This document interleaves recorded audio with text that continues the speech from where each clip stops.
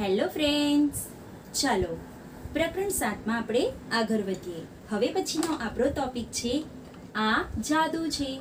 ચાલો, સેજલ એવું કયું જાદુ કર્યું? કે તેને જાદુ જેવું લાગ્યું? ચાલો આપણે જોઈએ. તો સેજલ સવારે ઉઠી. ત્યારે તેની મમ્મીને તાવ આવતો હતો. તેથી તેના પપ્પાએ ચા બનાવી અને તેની મમ્મીને દવા પણ આપી. ત્યાર પછી તેના પપ્પાએ સેજલને ઈંડા બાફવા કહ્યું. અને હા, ઈંડા બાફતી વખતે તેમાં થોડું મીઠું નાખવા પણ કહ્યું. પણ સેજલે થોડું મીઠું નાખવાનું હતું. એની જગ્યાએ તેણે વધારે મીઠું નાખી દીધું. હવે શું થશે? હવે જાદુ થશે કે એ જે ઈંડા નીચે તળિયે બેઠા હતા તે ધીરે ધીરે ઉપર આવવા માંડ્યા. તો આ તેને એક જાદુ જેવું લાગ્યું. પણ આમાં કમાલ કોની હતી? હા મીઠાની કમાલ હતી. હવે આપણે એવો જ એક પ્રયોગ કરીએ. આપણે એક ગ્લાસમાં પાણી લઈએ અને તેમાં લીંબુ નાખીએ અને મીઠું નાખીએ. શું થાય છે? ચાલો આપણે જોઈએ. વિદ્યાર્થી મિત્રો, તમે અહીં જોઈ શકો છો. એક ગ્લાસમાં પાણી લીધું છે. ત્યારબાદ એક લીંબુ અને ત્યારબાદ વાટકીમાં થોડું મીઠું લીધું છે. ચાલો આપણે આ પ્રયોગ કરીએ. તો સૌથી પહેલાં પાણીવાળું ગ્લાસ છે, તેમાં આપણે લીંબુ નાખીશું. તો જુઓ તો, શું થાય છે? અત્યારે તો લીંબુ પાણીમાં ડૂબ્યું છે. હવે આપણે તેમાં અડધી અડધી ચમચી મીઠું નાખીએ.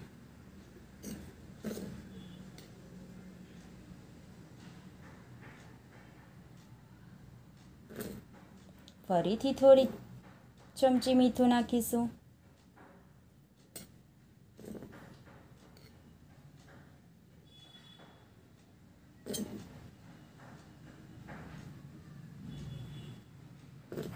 તો વિદ્યાર્થી મિત્રો, તમે જોઈ શકો છો કે કેવી રીતે લીંબુ પાણીની ઉપર તરી રહ્યું છે. જુઓ તો આપણે પ્રયોગ જોયો અને તમે પણ કર્યો હશે. હવે આપણે બીજા ટોપિક પર જઈએ. તો આપણો આગળનો ટોપિક છે મૃત દરિયો. હવે મૃત દરિયો એટલે કેવો દરિયો? આ દરિયો સૌથી ખારો દરિયો છે. હવે આપણે જોયું કે ઈંડા બાફતી વખતે મીઠું વધારે પડી ગયું તો ઈંડા તળવા માંડ્યા, લીંબુ વખતે લીંબુ તળવા માંડ્યું. હવે વિચારો કે આ દરિયામાં આપણે જોઈએ તો આપણે પણ તળવા માંડીએ ને? હા, સાચી વાત છે.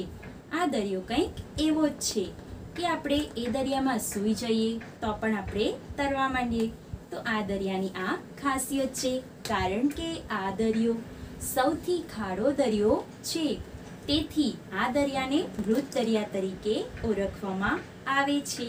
તો આપણે દરિયા વિશે તો માહિતી લઈ લીધી. હવે આપણો ટોપિક છે, શું ઓગળે શું ના ઓગળે? આપણને ખબર છે, મીઠું, ખાંડ આવી બધી વસ્તુ પાણીમાં ઓગળે છે. ઓગળે છે ને? હા, તો ચાલો, એવો જ એક કિસ્સો સેજલ્લો છે. તો આપણે એના વિશે વાત કરીએ. હવે સેજલ્લો ભાઈ છે, પિતરાઈ ભાઈ. તે તેના ઘરે રમવા આવે છે. અને તેની કાકીને, એટલે કે સેજલની મમ્મીને કહે છે કે મારે શક્કરપરા ખાવા છે. હવે તેના કાકી એમ કહે છે કે હું બજાર જઈને આવું, પછી શક્કરપરા બનાવીએ. તું મારી મદદ કરજે. તેના કાકી આવી જાય છે અને વિકાસને કામ સોંપે છે. તો એને કહે છે કે આ ખાંડ છે અને આ પાણી છે. તારે આ ખાંડને આ પાણીમાં ઓગાળવાની છે. હવે વિકાસને એવું થાય છે કે હું તો અહીં રમવા આવ્યો છું. ચાલે, જલ્દી જલ્દી ખાંડ ઓગાળી દઉં અને પછી હું રમવા જાઉં. એ તો એવું વિચારે છે. પણ ખાંડ આપણે પાણીમાં નાખી દઈએ તો શું એ ઓગળી જશે? નહીં, હા, પણ ખાંડને ઓગાળવાની ઘણી બધી રીતો હોય છે. કદાચ તમને પણ તેના વિશે ખ્યાલ હશે. ખબર છે? હા, તો ચાલો હું થોડી ઘણી રીતો તમને કહું છું. સૌથી પહેલી રીત કે આપણે ખાંડને પાણીમાં સતત હલાવતા રહીએ તો એ ખાંડ જલ્દી ઓગળી જાય છે. બીજી રીત, આપણે એ પાણીને ગરમ કરીને પછી ખાંડને ઓગાળીએ તો પણ જલ્દી ઓગળી જશે. બરાબર ને? હવે ત્રીજી રીત પણ છે. ત્રીજી રીતમાં શું કરવાનું છે કે ખાંડને આપણે ભૂક્કો કરી દેવાનો છે અને પછી પાણીમાં નાખીશું. તો પણ એ જલ્દી ઓગળી જશે. તો આ ત્રણ રીતો છે. શેની? હા, ખાંડને અગારવાની તો વિકાસ પણ આ ત્રણ રીતમાંથી કોઈ એક રીત અપનાવશે. જેથી કરીને તેની ખાંડ જલ્દી ઓગળી જશે. હવે, આપણે ખાંડ ઓગળે છે, મીઠું ઓગળે છે, આ તો ખબર પડી ગઈ. તો હવે બીજી ઘણી વસ્તુઓ હોય છે. કે જે ઓગળે છે અને નથી ઓગળતી. તો ચાલો આપણે તેના વિશે થોડા પ્રયોગો કરીએ. તમારી પર્યાવરણની ટેક્સ્ટ બુકમાં પાના નંબર ચોસઠ પર એક કોષ્ટક આપ્યું છે. એમાં ઘણી બધી વસ્તુઓના નામ આપ્યા છે. એ વસ્તુઓને આધારે આપણે આ પ્રયોગ કરીએ. તો ચાલો આપણે આ પ્રયોગ કરીએ. તો તમે અહીં પાંચ વાતકી જોઈ રહ્યા છો. ચાલો, આ વાતકીઓમાં શું છે તે આપણે જોઈએ. તો સૌથી પહેલી વાતકી તમે જોઈ શકો છો. તો તેમાં છે મીઠું, ત્યારબાદ માટી, ત્યારબાદ ચોકનો પાવડર. ત્યાર પછીની વાતકીમાં છે દૂધ અને ત્યારબાદ છે તેલ. તો આ પાંચેય વાતકીમાં કંઈ ને કંઈ દ્રાવ્ય, અદ્રાવ્ય વસ્તુઓ છે. હવે આપણે વારાફરતી આ બધી વસ્તુઓને એક એક ગ્લાસમાં નાખીશું અને તેમાં શું થાય છે તેનું અવલોકન કરીએ. તો ચાલો આપણે જોઈએ. તો સૌથી પહેલાં આપણે મીઠું નાખીએ. તો આ ગ્લાસ લીધું છે. તેમાં આપણે થોડું મીઠું નાખીએ. અને તેને હલાવીએ. ચાલો, મીઠું તો થઈ ગયું. હવે આપણે માટી લઈએ. તો બીજું ગ્લાસ લીધું. તેમાં આપણે થોડી માટી નાખીશું.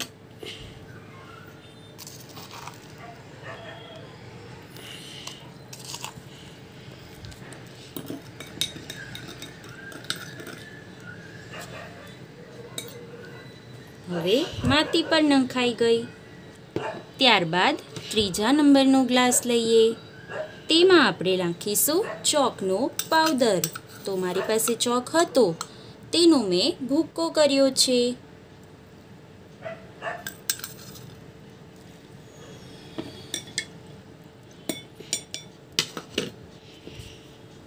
ત્યારબાદ આપણે દૂધ નાખીશું. તો જુઓ શું થાય છે દૂધનું?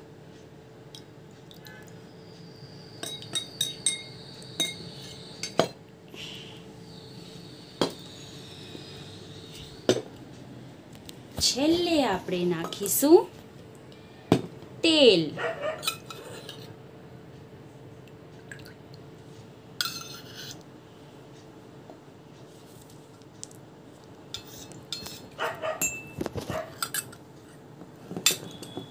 તો જુઓ.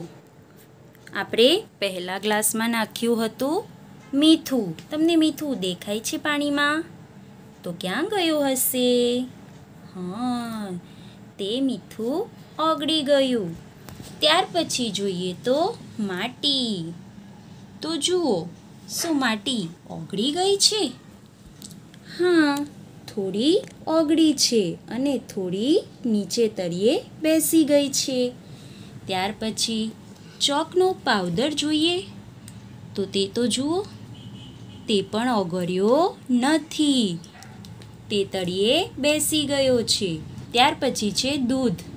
તો દૂધ તો પાણીમાં મિક્સ થઈ ગયું. ત્યાર પછી જોઈએ તો તેલ. અરે, જુઓ, તેલનું તો પડ બની ગયું. તમને દેખાય છે પડ? હા તેલનું તો પડ બની ગયું.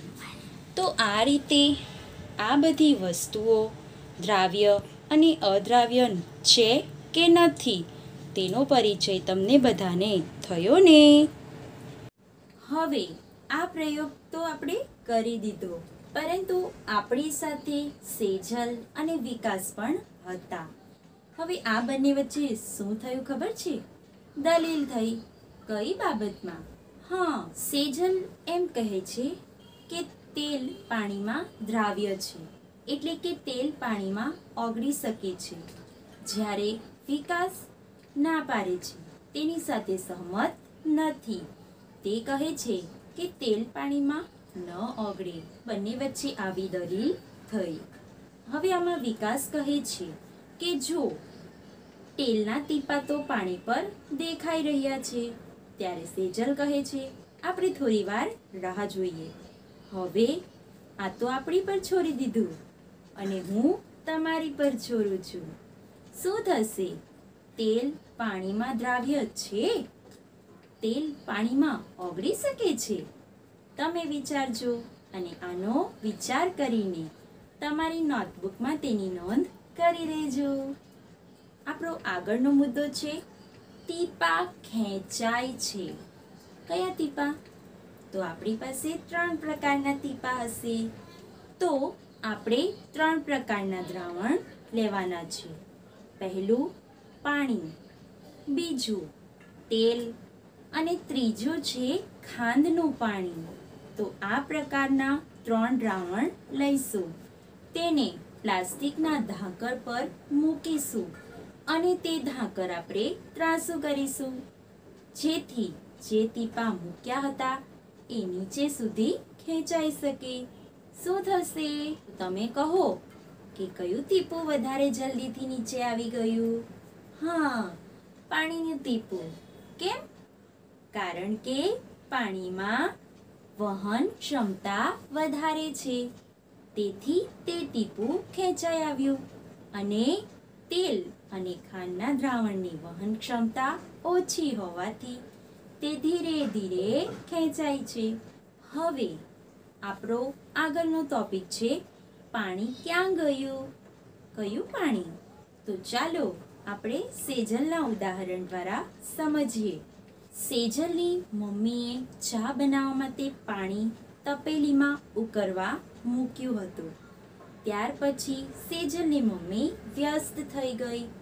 હવે એ ભૂલી ગઈ કે એમણે પાણી તપેલીમાં ઉકરવા મૂક્યું હતું. હવે શું થશે?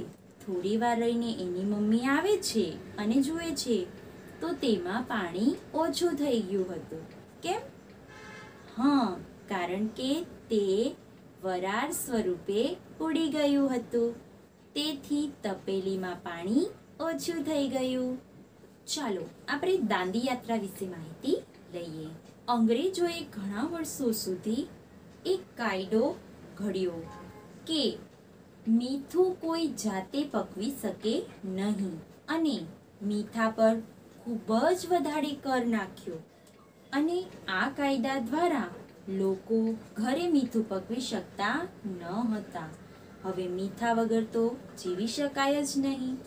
તેથી ગાંધીજીએ કહ્યું કે જે વસ્તુ પ્રકૃતિ તરફથી આપણને મફતમાં મળતું હોય તો એની પાછળ આપણે શેનો કર લેવાનો? આવો કેવો કાયદો? તેથી ગાંધીજીએ ગુજરાતના અમદાવાદથી લઈને દાંડી સુધીની યાત્રા કરી. શેના માટે? આ કાયદાના વિરોધ માટે. તો આ કારણે દાંડી યાત્રા થઈ હતી. હવે તમને એક પ્રશ્ન થશે, કે આ મીઠું કઈ રીતે પકવવામાં આવે છે? તો ચાલો, હું તે પણ જણાવી દઉં. તો તમને ખબર હોય તો જમીનમાં ઊંડો ખાડો કરવામાં આવે છે. તેમાં દરિયાનું પાણીનો સંગ્રહ કરવામાં આવે છે અને એ પાણી સૂર્યપ્રકાશની ગરમીને કારણે સુકાય છે અને નીચે મીઠું ભેગું થાય છે. આ રીતે મીઠું પકવવામાં આવે છે. તો હવે પછી આપણે ફરી મળીશું નવા પ્રકરણ સાથે. બાય.